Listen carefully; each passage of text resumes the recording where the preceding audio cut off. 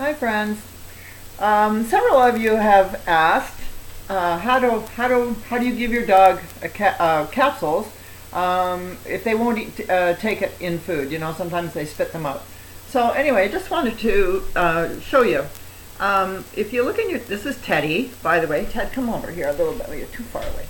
Okay, so if you look in your dog's mouth, you'll see that right at the side here, right at the side, there's a spot where there's not that many teeth, okay, right there.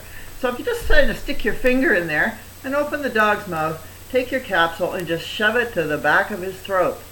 Okay, if that's too, he doesn't want to do it without food, you can always take a little bit of food, not too much.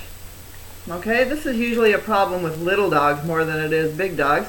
But same thing, you know, just get enough food, appropriate size for your little dog. Okay, put your finger at the side of the mouth. Just put the food right in the back of the throat. It's important to go in the back because dogs use their tongues to throw food to the back of their throat and then they swallow. Um, they don't really chew. So throw it to the back of the mouth. Um, all right, give that a try. See how that works.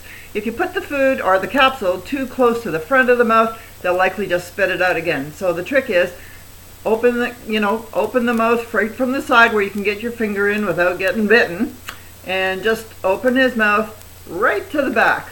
Okay, right to the back. And then just kind of hold the muzzle shut a little bit, not shut shut, but just, you know, so he's forced to swallow. If you need to, sometimes you can just rub the throat a little bit right there, which will cause the dog to swallow. So anyway, that's Teddy.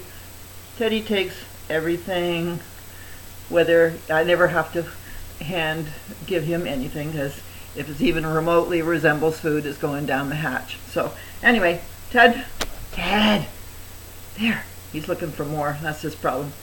Okay, well, this video is kind of off center, but anyway, you get the picture. Okay.